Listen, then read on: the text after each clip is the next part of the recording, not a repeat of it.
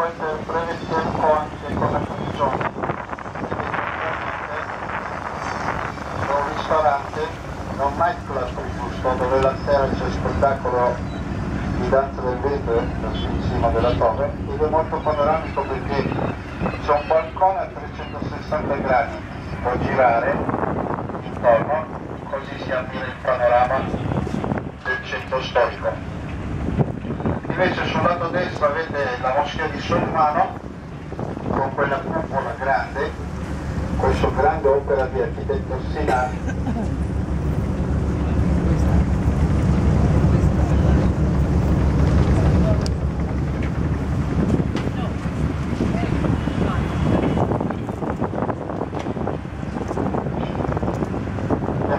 andiamo un po' lento perché dobbiamo aspettare il passaggio sotto